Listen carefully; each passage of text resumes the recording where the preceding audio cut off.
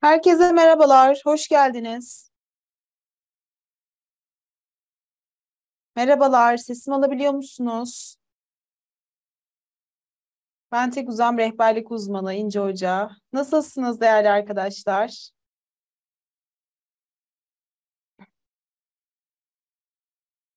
Teşekkürler, bizler de iyiyiz.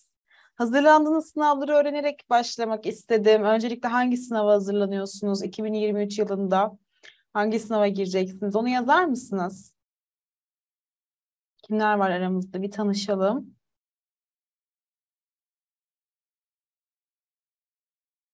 YKS, ÖABT, KPSS, Edebiyat öğretmenimiz Tuğba hocamız yine ÖABT'den gelecek. Nurgül YKS'ye hazırlanıyor. Nurgül mezun musun? 12. sınıf mısın? Güzel.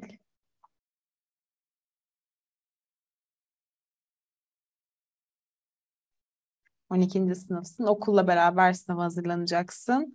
Ses yok diyen arkadaşımız varsa mühendis arkadaşım yardımcı olacak yazı, yazarak bilgi verecek kendisine. Evet.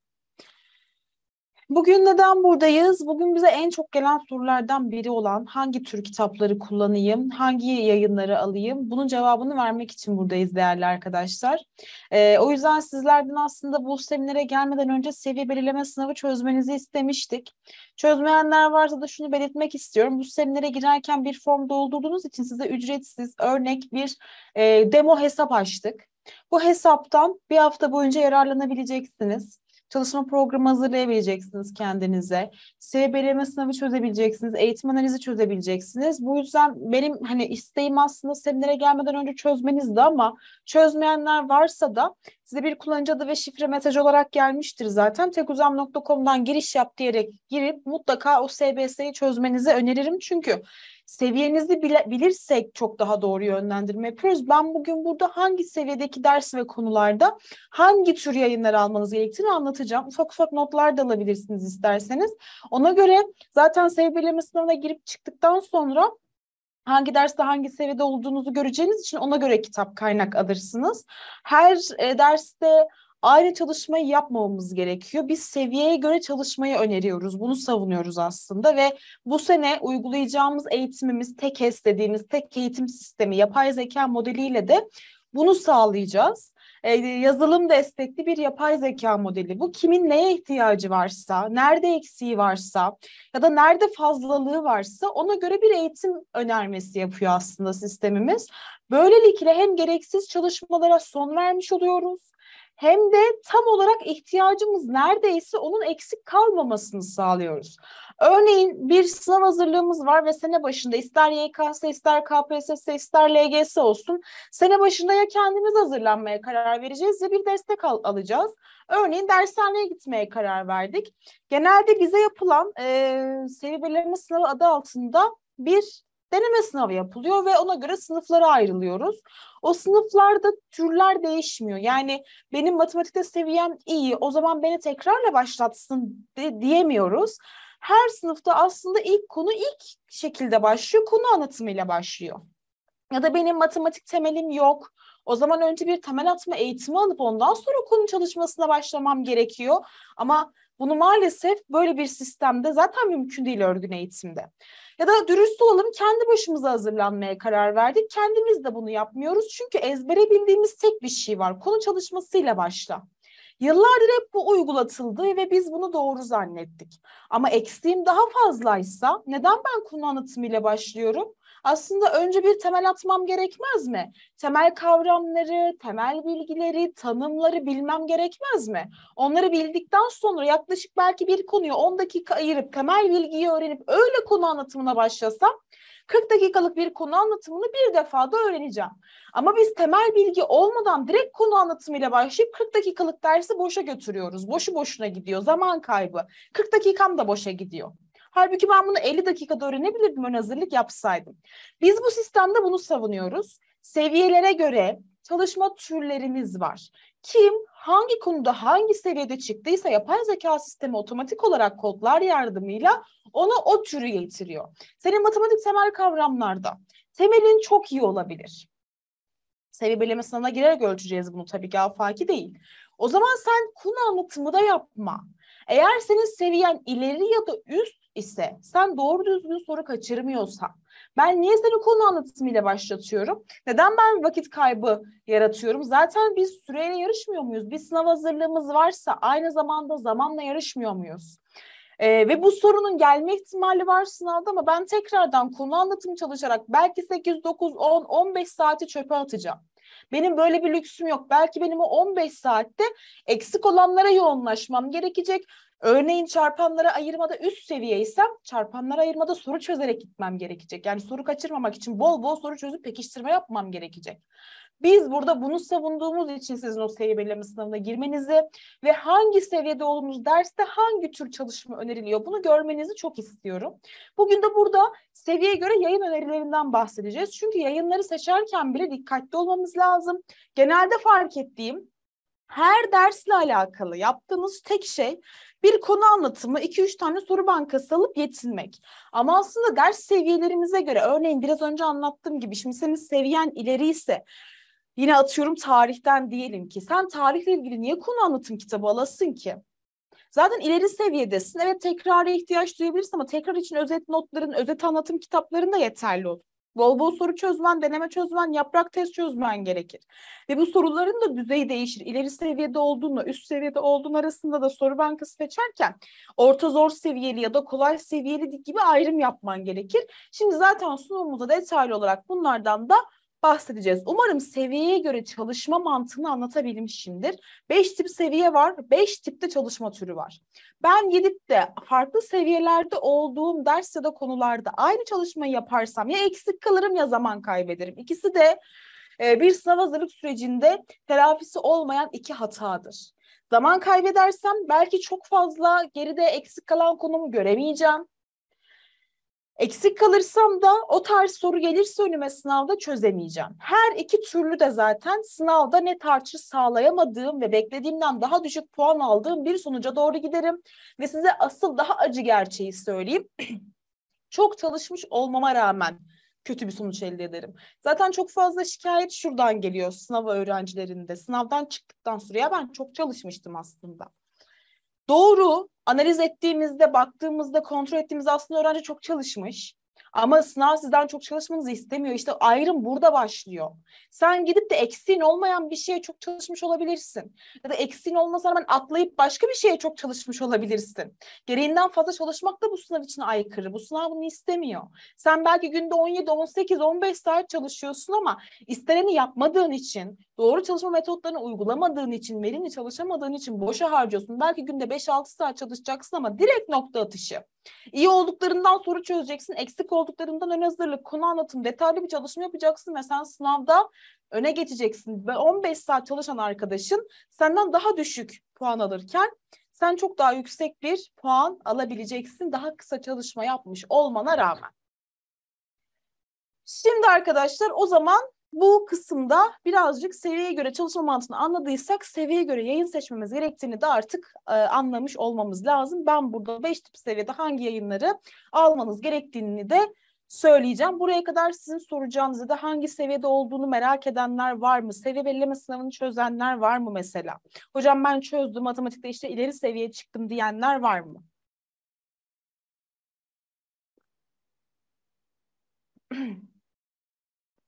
Çözmediyseniz mutlaka çözmenizi tekrar söylüyorum.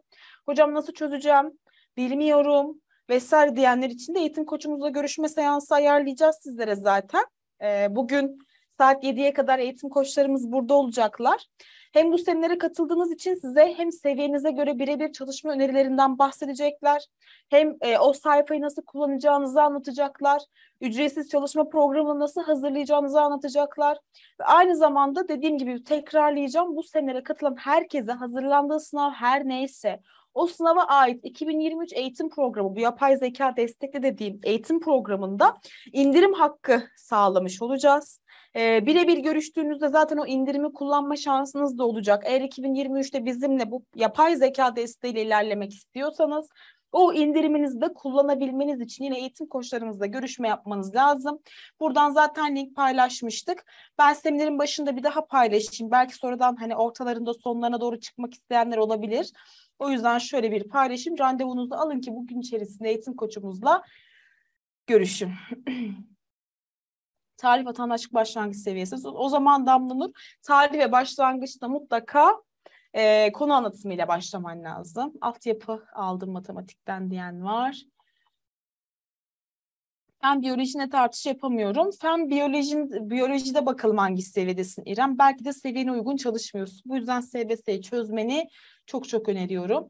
Anlıyorum ama testte, testte çözemiyorum. Sadece konuyu bir kez çalışmak yetmeyebilir. Konuyu çalıştıktan sonra tekrar sonra kolay soru sonra orta zor soru çözmen lazım. Bu mantığı yapmıyor olabilirsin. Direkt belki matematikten konunu çalışıyorsun sonra gidip kendi başına soru çözmeye çalışıyorsun ama aslında mantık bu değil. Ben hemen mantığı şuraya bir çizeyim sizler için ne yapmanız gerektiğini. Ee, ona göre yapalım. Şimdi arkadaşlar ben ne demiştim? Beş tip seviye var. Çok çizimim iyi değil ama Şimdi şurası temel seviye, en alt. Şurası başlangıç, orta, ileri ve üst. Yapmanız gereken çalışma eğer bir derste temeliniz yok. Önce ne yapacaktık? Ön hazırlık. Yani temel atma. Bu nedir? Nerede kullanılır? Yani örneğin matematikte temeliniz yok ya. Şunu bile burada çalışmanız lazım. İşte eksi 2 artı 4 eşittir. X artı 7 ise x kaçtır kısmını yaparken hani şuna çalışıyoruz ya bunu mesela normalde bir konu anlatımında anlatılmaz bu direkt sorusunu çözer geçer hoca. Bu bu tarafa eşitliğin öbür tarafına artı olarak geçer. Bu bu tarafa önü artı olunca eksi olarak geçere bile çalışmanız lazım. Yani ön hazırlığın mantığı bu. Temel atma. X eşittir ve çözenler oldu. Matematik hocası değilim. Öylesine yazdım. Ee, başlangıç seviyesi ne yapacağım? Konu anlatımıyla başlayacağım.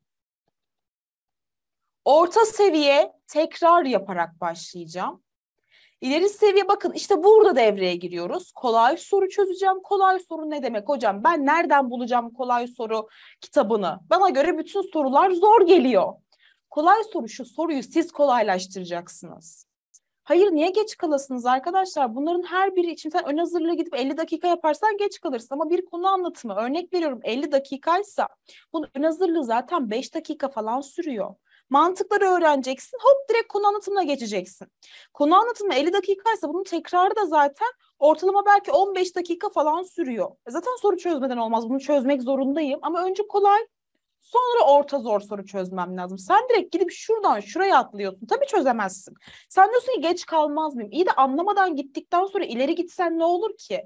Sen en önde bitirdin yarışı.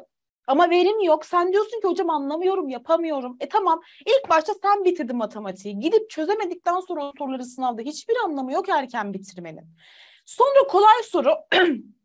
Burada soruyu siz kolaylaştıracaksınız. Nasıl? Şimdi anlatacağım zaten ama şu özeti yapayım. Çözümlü kitaplardan çözeceksiniz. Yani gidip e, çözemediğinizde çözümüne bakacaksınız. Cevap anahtarına bakacaksınız. Ya da video sorular. Yani hoca ile beraber. Yani önce anlı bakın burada buradaki amacım ne tarttırmak değil. Buradaki amacım ne biliyor musunuz? Nasıl çözüleceğini öğrenmek. Burada öğrenme devam ediyor. Öğrenme aşamam devam ediyor. Kendime özgürlük tanıyorum. Sonra orta zor soruya geçiyorum. Artık çözümlü kitap video soru değil. Gerçek bir soru bankasından kendi başıma zorlaştırıyorum. Kendi başıma çözüyorum. İşte burada ne tartışı başlıyor? Çünkü ben burada öğrendim soruyu nasıl çözdüm. Tekrarımda yaptım, konuma da çalıştım. Burada öğrenmeye başladım. Sabırsız biriysek de bunu aşacağız. Yapacak bir şey yok. O zaman hiçbir anlamı olmaz. Şimdi ben tekrarlıyorum. Sen hiçbir şey anlamadan, öğrenmeden erken bitirdiğinde ya nedense hep şu var. Ya ben bunu yıllardır sektörün içerisindeyim. Yıllardır her öğrencide duyuyorum. Hocam dersler ne zaman bitiyor? Bir an önce bitirelim. Hocam bu programa göre ne zaman bitiririm? Bir an öyle bir zihniyet, öyle bir mantık yerleşmiş ki öğrencilerimizde. Hep şu aranızda hep bunu konu. Bir an önce bitirmeliyim. Ya bitir de anlamadıktan sonra bitmenin ne anlamı var? Kendi yar işimizde şu, şu yarış değil ki bu. Kim daha erken bitirecek yarışı? Hayır. Kim daha çok soru yapacak? Kim daha mantığını kullanabilecek? Kim daha akıl yürütme sorularında öne kim daha hızlı soru çözebilecek? Sen anlamadan gidince inanın hiçbir anlamı yok erken bitirmişsin, geç bitirmişsin. İstersen sınavdan bir hafta önce konuları bitir. Ama sen şu mantıkta gidiyorsa zaten artı olacak, zaten öne geçeceksin. Temel seviyedeysem, eğer temelim yoksa yani, bunu da SBS zaten size gösterecekti değil mi? Detaylı kullanım kitaplarına ihtiyacım var. Üç farklı yayından kolay seviyeli çözümlü soru bankalarına ihtiyacım var. Kolay seviyeli yaprak testler, özet anlatım kitapları, çözümlü çıkmış soru denemesi sınavları. Bunlar benim için olmazsa olmaz. Çünkü ben temel seviyedeyim, en baştan başlayacağım. O yüzden elimde bütün setin olması lazım. Önce bir ön hazırlık yapacağım detaylı kullanım kitaplarım olacak. Zaten bizim öğrencimiz olursanız temel seviye olduğunuz derslerde size ön hazırlık videosunu biz sunacağız. Gidip kitaptan çalışın demeyeceğiz. Biz direkt sana diyeceğiz ki çarpanları ayırmada temel seviyedesin. Al bir ön hazırlık videosunu otomatik olarak önüne getireceğiz ve izlemeni isteyeceğiz. Bunlar elimde olacak. Başlangıç seviyesine geçtim. Bir tık üstüydü hatırlıyor musunuz başlangıç seviyesi? Burada da bakın fark var. Şur şurayla bur arasında fark var. Burada ne yok ne arkadaşlar eksik? Şurayla şur arasında. Biraz önce detaylı konu kitabı var mı? Burada da var evet çünkü konu anlatımı ile başlayacağım. Burada bu sefer iki farklı yayından kolay seviyeli soru çözümü, e, çözümlü soru bankası yetiyor bana.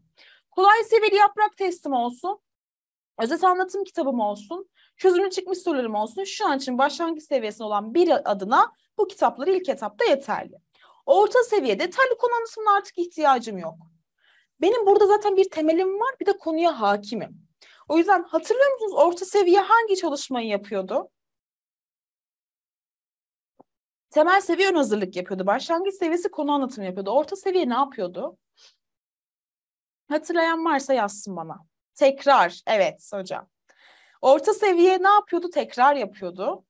O yüzden benim burada bakın ya işte ya hatamız burada başlıyor. Biz daha seviyemizi ölçmeden her şeye konu anlatımıyla başlıyoruz. Her şeye öyle bir zaman kaybediyoruz ki ya şu anda bir ortalama e, YKS, LGS eğitimleri ya da bir KPSS'ye bakın. Şimdi mesela hocam için konuşacağım. GGK eğitim ve ÖABT'ye giriyor. Ortalama olarak GGK'nın ders saati 300 saat civarı.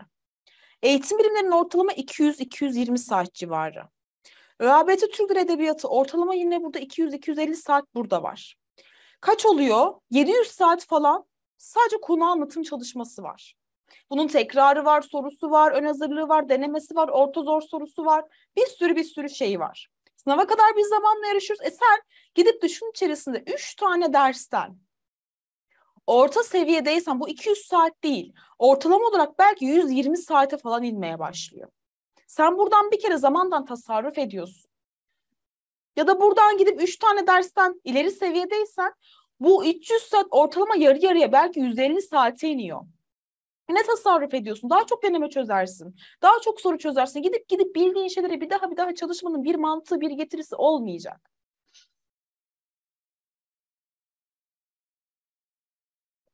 Testi çözerken anlamadığımı fark edip tekrar konu dinliyorum demiş Huriye mesela. Testi çözerken kolay soru mantığıyla çözümüne baksan anlayacaksın sonra orta zor soruya geçeceksin zaten. Bir daha bir daha konu dinleyip zaman kaybetmene gerek yok. İleri seviye, ileri seviye ne yapıyordu? İleri seviye hangi çalışmayla başlıyordu? Hatırlıyor muyuz?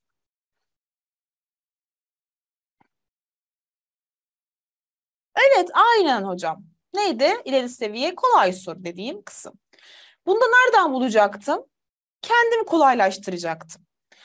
Ee, bu aşamada yapmam gereken şey aslında önce özet anlatım kitapları, e, dört farklı orta zor ve kolay. Pardon şunu yazmıyorum. Kolay, orta ve zor seviyeli soru bankası. Çünkü kolay soruyla başlayacağım. Sonra seviye atlayacağım ya. Bir seviye atladıktan sonra orta zora ihtiyacım olacak. O yüzden alıyorum bunu. Hani ben bu ileri seviye sadece o seviyedeki dersler için değil bakın. Şu merdiveni tekrar hatırlayalım. İleri şuradaydı. Üst buradaydı. İleri çıktım ya. Şurayı at. Burayı at. Buradan buraya kadar olanları al. Yani sen ileri seviyedesin. Hem kolay soruya ihtiyacın var. Pardon. Kolay soru. Hem de şurada orta zor soruya ihtiyacım var. O yüzden kolay, orta, zor seviyeli soru bankaları alacağım. Yaprak test alacağım. Çıkmış soru deneme sınavı alacağım. Özet anlatım kitaplarına nerede ihtiyaç duyacağım biliyor musunuz? Ben bu kolay sorularımı çözerken unutma hızıma göre Eğer ki işte örnek veriyorum sen e, X konusunda ileri seviyedesin kolay soruyla başladın ama bu soruları çözerken çok fazla yanlışın çıktı. Yani check-up yaptığında kendini 50 soruluk bir testte belki de 30 yanlış 20 doğru yaptın. İşte o zaman bir seviye geriye gidip 30 tane yanlış çıkarttığın konuların tekrarını yap. Yani kendini orta seviyeye düşürüp çünkü sen burada ileri çıkmışsın ama demek ki ileri değilsin. Çok yanlış çıktın. Tekrarını yapıp ondan sonra ileri seviyeden devam edebilmek için burada da ne yapıyorum? Önlem alıyorum. Elimde dursun. Yanlışlarım çok çıkarsa bir tekrar yapıp ondan sonra soru çözümüne devam edebilirim diye. Ve üst seviye artık zor seviyeli soru bankaları alıyorum. Zor seviyeli yaprak test çıkmış soru deneme sınavı. Sen zaten üst seviye ne biliyor musun? İlerinin de üstü olduğu için. Yani örneğin sen seviye belirleme sınavında e, yine çarpanlara ayırmada 10 soru vardı. 10'da 10 yapmışsın ya da 10'da 9 yapmışsın. Yani 8 yapsan bile 8 bile ileri seviyeye götürüyor seni. 10 ya da 9 yapmışsın. Senin burada artık hiç eksiğin yok. O yüzden sen buradan bol bol bol bol bol bol soru çözeceksin demek. Hiçbir şekilde e, vakit kaybetmene, hiçbir şekilde kafanı karıştırmana gerek yok demek. Yani seviyeye göre yayın kullanırsak yayın fazlalığından darın. Şimdi çok yayın gibi duruyor burada size. Ama aslında öyle değil. Sen ders bazlı neye ihtiyacın varsa onu alacaksın. Yayının çokluğundan da kurtulmuş olacaksın. Yani sen gidip her dersten konu anlatımı kitabı almayacaksın mesela. Her dersten bir özet anlatım kitabı almayacaksın mesela. Tamamıyla neye ihtiyacın varsa onu alacaksın. Hem tasarruf edeceksin hem ihtiyaçların olduğu için hepsini kullanacaksın. Ya ben nice öğrenciler tanıyorum. Belki aranızda da vardır. Sınav bitiyor ama elinde hala sıfır kitaplar var. Hiç dokunmamış, sıra gelmemiş ama o kadar çok yığınla kitap almış ki ve o kitap onu strese sokmuş. Benim böyle çok öğrencilerim vardı. Hocam diyor, beş tane farklı yayın evinden kitap aldım. Şu an bir tanesini çözüyorum ama o dördü gözüküyor ya, gözüme görünüyor ya. Stres oluyorum. Ya daha bu bitecek de diğerine gideceğim. O bitecek de öbürüne gideceğim. O bit bir de zaman hesabı yapıyor kendi kafasınca. Ya oho yetişmiyor diyor. Öyle olunca da sen daha çok kendini kasıyorsun ve stres senin doğru karar vermeni engelliyor.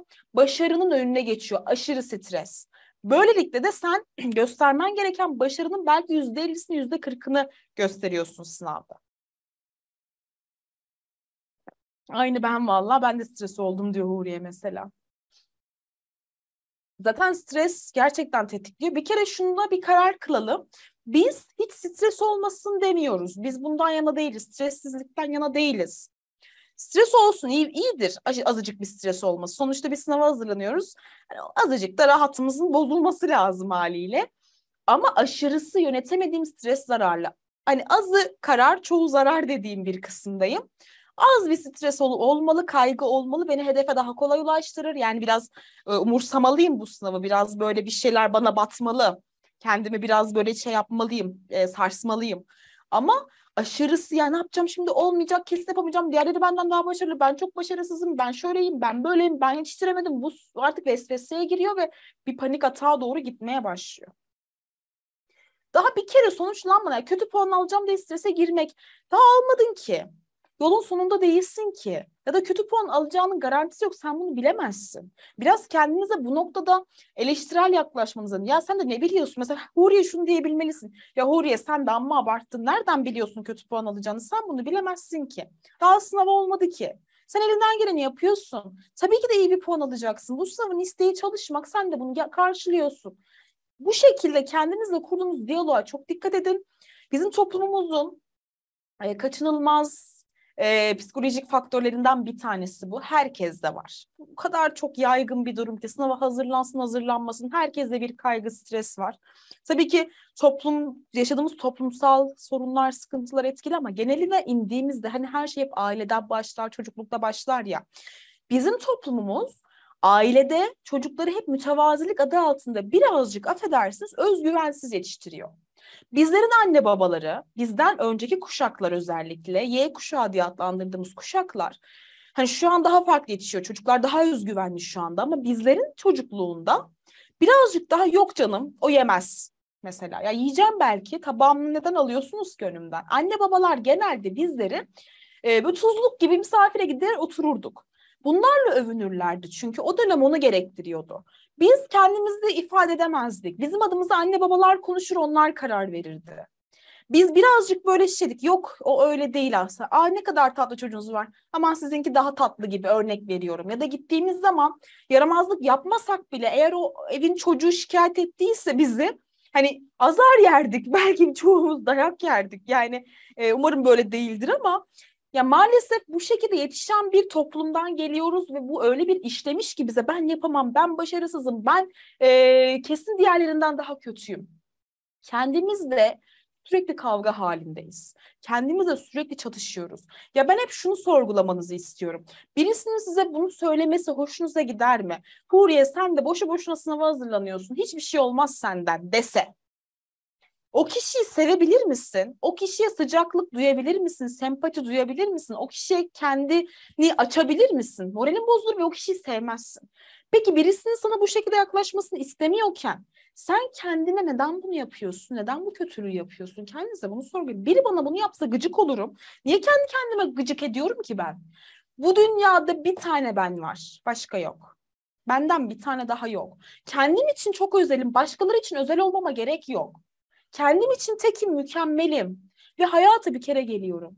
Bu hayatta bir şey başardığımda en çok mutlu olacak kişi yine benim. Bir başkası bakın e, inanın ailelerimiz dahi değil. Evet bizler için en iyisini, en güzelini istiyor olabilirler. Bazen bizlere kendini yanlış ifade ediyor olabilirler. Bizim isteğimizi e, egale edip kendi isteklerini ön plana sunuyor olabilirler ama yine bizim iyiliğimiz için belki birçoğu. Ama aslında ben bir şeyi başardığımda benden daha fazla mutlu olabilecek biri yok. Aynı şey onlar için de geçerli. Anneniz de bir şey başarsa en çok anneniz mutlu olur. Çünkü bir kişisel benlik duygusu, özgüven duygusu, biri olabilme bunların hepsi var bizde.